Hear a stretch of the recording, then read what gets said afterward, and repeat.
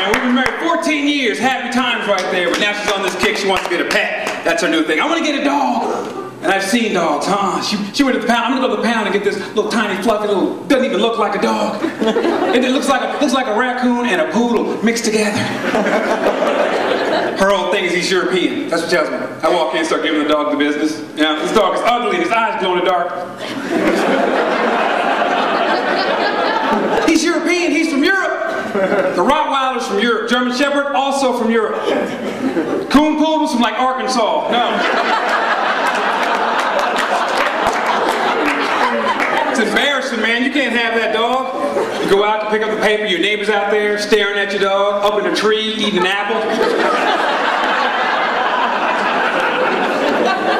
I thought pit bulls had pound for pound the most crushing power of any animal in their jaws. She watched a lot of Discovery Channel, told me that's not true. Animal with the most crushing power, Brazilian land tortoise. Turtle. and don't try to run, turtles can smell fear. They'll chase you down, man. I'm sorry, but I've never looked at a turtle and thought, we better get out of here. that turtle's upset.